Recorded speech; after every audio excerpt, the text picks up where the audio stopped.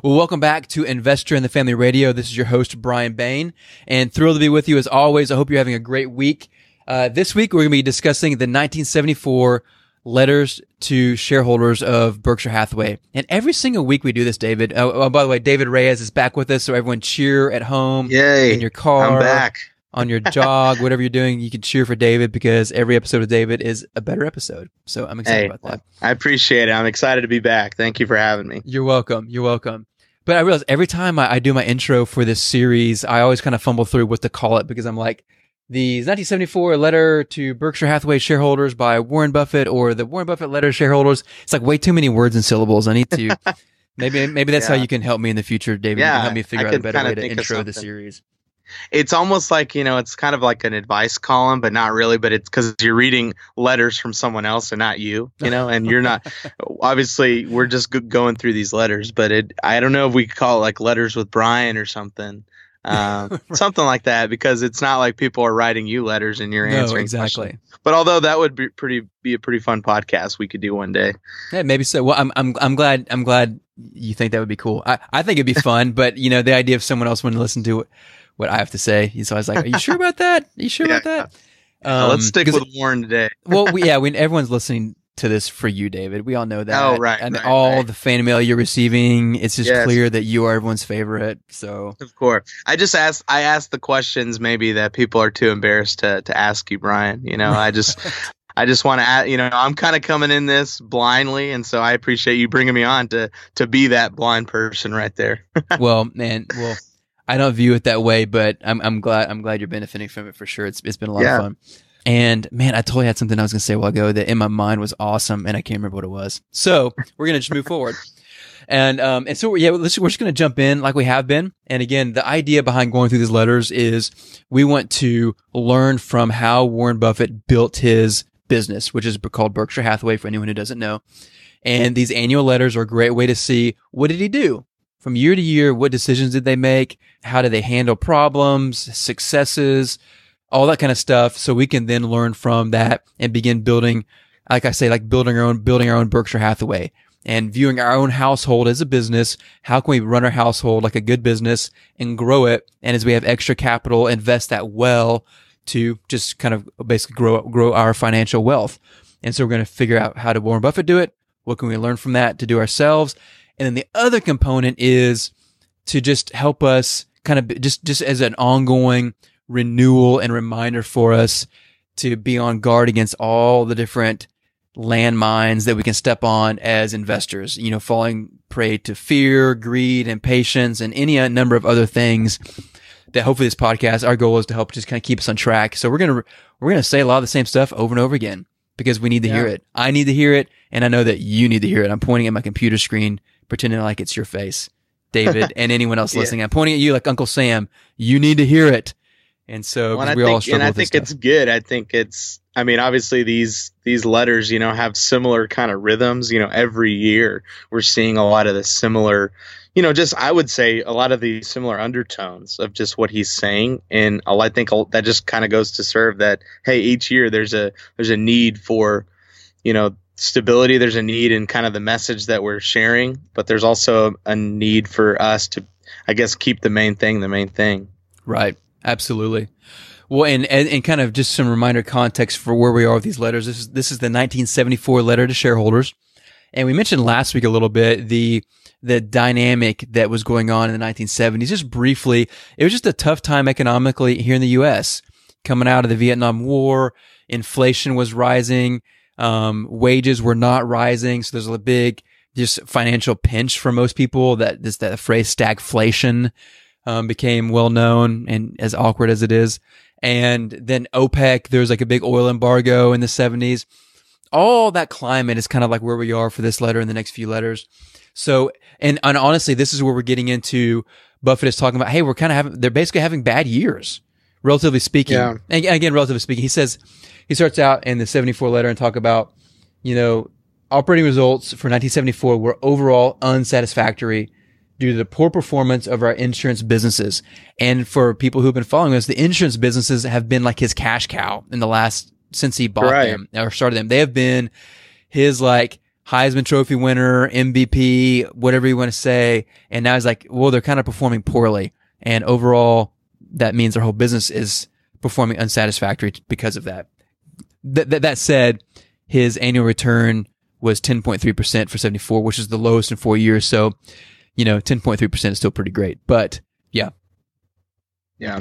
That, um, it is, again, I, I, I shared this on the last one, but I think just it, the honesty is, is helpful because it's, it's almost encouraging to know it's like, hey, Warren Buffett is not perfect. And I think you mentioned it on the last one, but just that the mistakes do happen and we can't be, I guess, blindsided by it too much. And so I was glad that, you know, kind of opening up with the, the cold, honest truth there. Well, and, and, and to me, it brings up the, the real challenge for myself and all of us as investors is, is are we really honest with ourselves? Mm. You know, how long we've been investing and yeah. what has our track record actually been? Because most people, you know, I mean, you get busy, you move forward in life, and how much of us sit back and really actually pull away and reflect, and even more so, pull away and reflect on actual data. And so you can look right. back and say, how did I, how did my investment perform in 2017?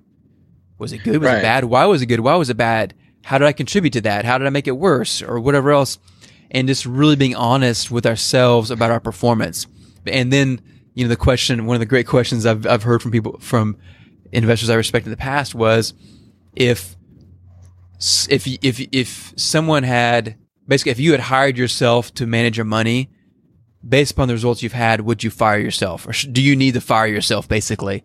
And, yeah. and it's like, man, that's kind of a, harsh way of thinking about it, but it's true. You know, because you, you never think I'm going to fire myself, but if the roles reversed, should you? Right. you know what I mean? Right. Well, I think it's easy to, I feel like just in any field or anything, it's easy to coast. You know, it's easy to kind of go through the motions when you feel like it's, you know, you have it down, but then you kind of lose, you could lose focus on not being honest with yourself, not evaluating what you need. And I would imagine that's kind of what, you know, he's having to do with these letters is just kind of really that that evaluation of kind of hey here's the outlook that we're seeing uh, and I think a lot of times it's it's tough to look in the mirror uh, on anything that we do and just see where. But it's it's also important, and and I guess this is the reason we need these reminders every single week, is because it's it's hard for us to to to see those ourselves. Absolutely, and and again, from me, it's just so challenging because I mean, again, I'm I'm saying all this stuff. I'm saying it to myself to begin with, and I hope it's helpful for our listeners too. I know it is because I know that I mean, I've talked to enough people to know that we struggle with a lot of the same things. But man, you know, I one of the some things I struggle with as an investor in managing my own personal portfolio is, you know, at the end of the end of the day, how do I make investment decisions? Like what actually determines what goes in my portfolio? Like what is my system and what is my filter? We talked about filters a little bit last week. And you have a general filter for like making a decision, but you know, what type of investor do I want to be? What type of portfolio do I want to hold? As opposed to just investing in any, not random, but seemingly random great opportunity that I, I happen to identify. I mean, you could do that, but again, the less rails we have the ride on, I feel like the more room there is for us to get off track. Yeah, that's good. That's a good point way of looking at it. Yeah, and, and and so for me, I think, okay, so how well am I being honest with myself about do I what what is my system? Because every one of us has a system. Even if you've never mm-hmm. thought about it or never written it down, you have a process or system for how you're doing things. And so my question is for you so whatever you're doing right now, stop and or take some time soon to write down what is my current process and it may be embarrassing, it may be undefined, it may be sloppy, or it may be amazing, but right. what is it? And just and just put it down on paper so you can have again be honest with yourself. What is my process for investing? And then what have the results been? And then you can say, okay, what needs to change here? Do I need to quote unquote be fired or at least fire my current process and create a new one? And if so, man, just challenging all of us to to go through the extra time to do that. And some of the reasons I struggle with it is first of all, it's hard to know you know, what rules should I go by? Of course. Um, the answer is there's lots of different potential options, which makes it even more challenging. But, you know, it's, it seems like we don't have enough time to do the research we need to do already and to do what already is required to invest well. So that idea of pulling a, of putting all that on pause so we can come, then come back and create a system. It just, it's just like, I don't have time for that. But realizing, Right. man, if we don't make time for it now, I guarantee you we're going to regret it years down the road. Yeah, and I think, I mean, you you on the last one, but just talking about having partnerships, and we're talking about, you know, even Warren Buffett calling out in each letter, having people by name that he's calling out, saying, "Hey, I cannot do this alone. I have these people." But I think that also helps with just self-evaluating too, because it's it's easy to see ourselves in either. I feel like we either, and I think you said this before. I forget the quote, but you either, you know, you un, we underestimate ourselves a lot, or sometimes we overestimate ourselves a lot. And I think having fresh kind of talk through a lot of this stuff with, I hope that I think that helps me in a lot of ways, kind of evaluate where I'm at. Well, I think one of the, the, the greatest values of having an investment advisor is you have someone to, to filter your, filter you w- with, you know? Um, again, obviously there's lots of different advisors out there. Some of them are amazing. Some of them aren't. And I'm not going to focus on that right now, but the idea of having another person that you have to filter your decisions through is just really helpful because, you know, they probably haven't been reading what you've been reading. And so if you're really excited about something or really scared of something, and then you run it by them, you kind of have, then you have to kind of defend that investment case. You have to make a case for them. Um, and so that, that's kind of serves as a significant filter for yourself. Another thing you can do is write articles, become an author or contributor on, on a, a website like Seeking Alpha. I'm a big fan of seekingalpha.com. I've, I've used the website a lot myself and I'm, I'm um, fortunate to be, to be a contributor there. And technically it's available. It's open. It's an open source platform. And so the, you know, I challenge people that before you make one great filter you can have is write out your investment thesis in an article, publish it publicly and see what feedback you get. You know, and so hmm. at a minimum, it challenges us to process through our thoughts in an intelligent way and then hopefully get some feedback on that as well. And, you know, it can be scary. You know, I know what it's like to publish something and think, gosh, I hope I haven't like just said something really foolish that I'm going to get embarrassed by when people call me out on it. But here, here's the thing. It all comes about the, comes by, comes back to the tone with which we do stuff. And if you write a letter and you're saying, Hey, this is my thesis. Um, and you say, Hey, I, I would love to, I know I'm not perfect. You know, I, I would love to hear feedback. If, if there's a, a hole in my thinking or a mistake that I've made, you know, on a platform like Seeking Alpha, most people, um, if you are humble in your approach, will most people are going to respond positively to you. And so that reduces that kind of concern a lot. But if you come out and you're, you try to pose yourself as some perfect expert and you try to like sound like you got it all figured out, then you're kind of inviting yourself to get, you know, more significant critique, which isn't very fun. So that's just kind of a little thing there because I think that's a great filter. Another thing I want to bring up is the idea of, you know, have you ever considered writing your own annual shareholder letter for your investment business? And again, I, hmm. am sure that sounds ridiculous because like, well, I don't have any shareholders. Like, well, you have yourself at a minimum. If you have a family, technically they're shareholders as well. But what if we had a discipline to at least annually write a shareholder letter based upon our investment business, Hmm. our portfolio, and just and d- just genuinely be honest. How did it go? You can go position by position if you want to. How did this perform? Why did it perform the way it did? What do I think about it going forward? What changes need to take place? What did I learn this last year? And man, if we took on as investors took on that practice, wow, man, I just I, I, I just can't imagine the positive impact that would have over time with our investments. Well, I think that would be really helpful too, just to kind of, it's almost just like a, an outline. Because I feel like I'm really guilty of like, I have things in my head and I don't really write a lot of stuff down.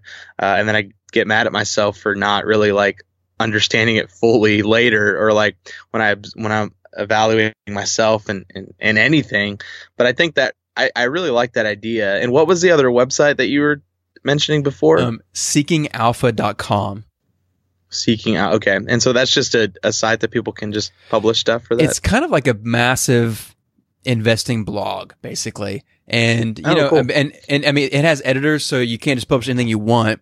But you know, if you create an article and then you submit it, and then if the editors approve it, you can get it published and stuff. And and and I, and, and again, I just feel like that's just a great way. Even if no one reads it, like the goal of writing it isn't necessarily for people to read it. It's for it's to discipline ourselves to really think through our investments before we actually pull the trigger on it. And because if you can't if you can't write an intelligent article about it, then it's probably not wise to put a meaningful amount of your portfolio in that investment either. Um, but and then the added benefit is you know potentially get some feedback that could either encourage you or maybe cause you to pause a little bit. Maybe they point out uh, something you've missed. That's happened to me before. I've made some written some articles and people said things. I was like, whoa, wow, I didn't think about that. I'm, I'm glad. Yeah. I'm glad I wrote that article. yeah, that's no, that is good. I didn't, I didn't know that that was even out there. I think that's a, that's a great resource. Yeah, yeah, no, absolutely. I think it, it, it is a great resource and one that I've benefited from for many years and am very, very thankful for, for sure. Man, I kind of feel like after that whole writing an annual shareholder letter thing, I feel like I was like, I'm not sure what else can I say in this podcast is going to be as good as that. And that sounds, yeah. self-serving, but I just think, man, that, and on, and I'm and I'm, man, with, with humility, admit I don't do that. And I'm like, I kind of want to stop and write one right now, you know? Uh, when, whenever well, there's an earnings season, yeah. like stop and, and create your own earnings call or your own report on how your portfolio has done. Um, yeah. You know, one thing I, I, well, I think you could go, go back yeah. to it too. I think you can go back to it and like these letters and look at the the way it grew and the way like you saw things change and your verbiage changed. It's common. I mean, it's just like your, it's like a journal that you can go back exactly. to uh, and look at. So I think that is very helpful. So I bet that I mean, I, you were saying that you you do this. I bet you can look back on your previous years and stuff and see how much things have changed for you, even in your current situation. Yeah, well, yeah, it's definitely like a, a benchmarking tool for your growth, like just like you're saying. And I think, but when you, you know, it's that dynamic of when you put it down on paper, whether it be typed or written, you're kind of like setting a stake in the ground. And I think it just helps us move forward. And I imagine, you know, you're on a hiking trail and you have like hiking pole and each year you write your annual letter or, or whenever you write just an investing journal in general, like, which is what I was about to, I'm going to talk about here in a moment as well. It's like, you're going up a mountain and you you kind of ram that in in um, hiking pole into the ground and you kind of you put your weight on it and you're kind of moving yourself forward. Then you put the other one in the ground, you dig it in, you move yourself forward. Each year mm-hmm. we write the annual letter. It's like digging that pole in and moving ourselves forward and moving ourselves forward. And it's have that definitive progress year by year versus if we don't do that, I think it's like you don't have hiking poles and you're just kind of slipping a lot. And you're like, well, I think I've moved forward a little bit, but you know, I kind of keep slipping on the rocks and, you know, I'm not, it's just, it's just not as clear of a progress and you're not making as much progress and you're using a lot more, you're spending a lot more energy to make less progress. Yeah, no, that's a, that's a good point. I think that's helpful in that regard. And to add to that, again, just take it to another level is the idea of just adopting an investing journal approach. And what I've, and what I'm working on doing right now is I, I would like to write an investing journal every week. You know, I mean, obviously, I, like I, I have a business, investing business, so I'm obviously more involved in the space than maybe the average person. So because of that, I want to have a more, a uh, uh have high, a higher recurrence of my entries, if, if that's probably the clumsiest way I could have said it, but I want to write more entries, you know, because yeah. I, I, have more stuff in my mind going on that I want to process through.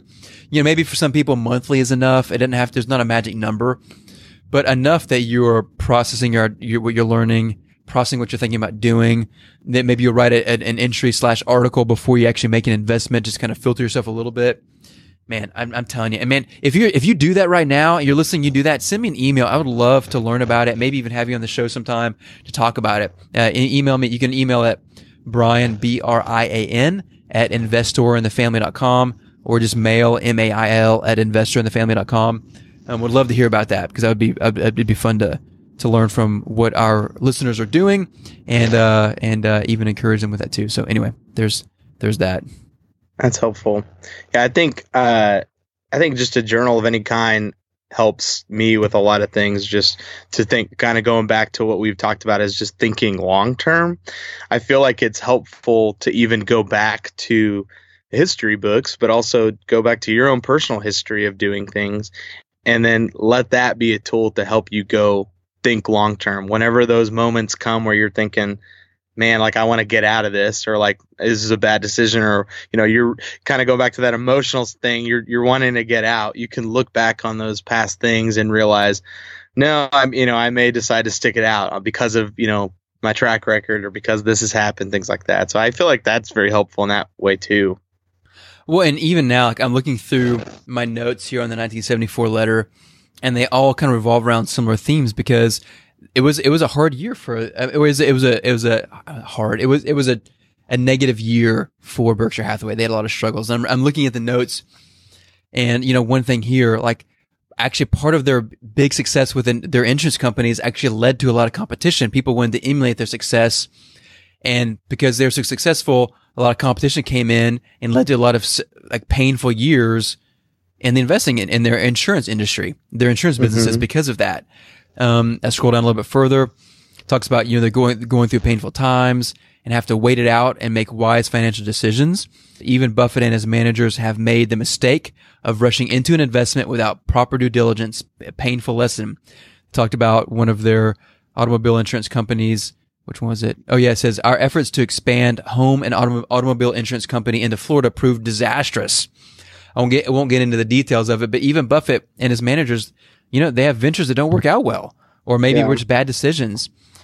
He talked about their insurance investment results. A lot of the capital was in bonds and those didn't perform very well. The capital and equities performed poorly and were expected to do so again the next year. And on and on. I mean, like all these negative things in the letter. And again, I think as investors, our, our typical approach is, um, first of all, remember that there's 12 months between every one of these letters. So that's a long time to wait. That's Imagine true. waiting 12 years or tw- 12 months, excuse me, 12 months yeah, between yeah. now, like making an investment, then waiting 12 months before you're willing to make a change on that, or even years. I remember um, in one of the investment summits that I've done and, and, and interviewed a, a, really investor that I respect. He talked about don't ever evaluate when your investments in, with less than a three to five year time window. So basically, give everything three to five years to play out, which sounds really smart. But how many people like wait, are willing to wait three to five years when you're? It just it feels like forever. And so we've got to be able to find ways to temper our expectations and to to to be patient. Um, because Buffett had a really bad year, but he didn't. They're not jumping ship on any of these businesses. They're like, hey, we're we're pressing through, we're moving forward, but man, this is really hard. I think that's a good thing to note too. It's just is that they're they weren't jumping ship. I think that's a that's just a great lesson to be learned here on thing. And I think it's I feel like today is is a lot harder with anything to stay stay constant with it when things get rough because our culture i feel like we've provided so many solutions every which way so we don't have to wait anymore so things can get done quicker so we can get to places quicker so we can so i feel like just the narrative is constantly well if it's long let's there's probably a way that we can get it if not let's just jump ship and so i think that's a pretty good lesson to take from that as well well, and to, and to build on that is what that idea is. I mean, the whole idea of credit.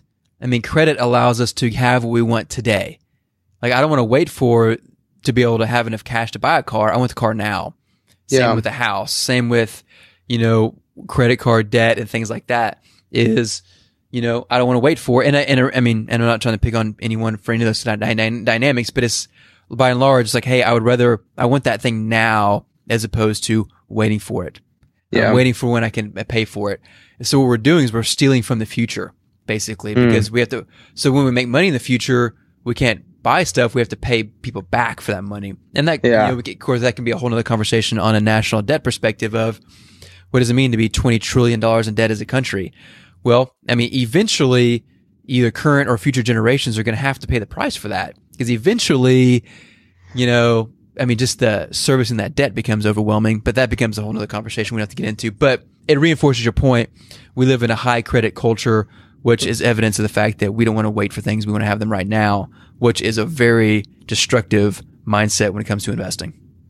My wife has this uh, quote that she sometimes, I don't even know where she gets it from, but she always says, uh, make future self happy. And uh, she'll, you know, she's always saying that you know so awesome. she's always you know and it's something simple but like even if it's you know we're we're coming home and it's been a long day but we know we have you know laundry to fold or dishes to clean or something like that and all we want to do is just sit on the couch and just kind of be done for the day we always kind of remind ourselves okay like what will make future david happy? You know it's That's like future so david great future David will be happy to know that, you know, I can rest and with all that being done. And so that's kind of it honestly it really helps us because we start to think we're like, yeah, we're going to be a lot more we're going to be in a lot better place if we do all this stuff now. And so I think that could be something that you know you could look at even with these journals that you're talking about is think through what would make yourself in a better place. You know, what are you what could you do now to make yourself in the long term be in a better state, you know, for you. Well, and and I mean that is so good. And I think about something that you know we uh, another thing we say a lot is that every dollar and minute we spend is an investment in something, and it's the whole idea that all of our life is an, is is is a string of various investments. You know, mm-hmm. um, and that idea of making my future self happy is you know that can apply to our health. Like, hey, well, I want to you know, maintain at least a, a moderately reasonable diet so that I can be healthy as an individual in 10 or 15 years. And I want yeah. to have some exercise moderately, you know, at a minimum. I want to get my five to 10, five to 10,000 steps in today because I want to try to be, I want to be healthy 10 years down the road. And I even, I even thought the other day, like I was, you know, it's late at night, you're going to bed and it's like, man, I, I'm brushing my teeth, but I'm not flossing tonight. I do not want to floss. The next thing you know, it's been like a week or two. And like, oh, I haven't flossed. And I don't know when last time was I flossed. And I actually thought the other day, Brian, you're making an investment in your teeth.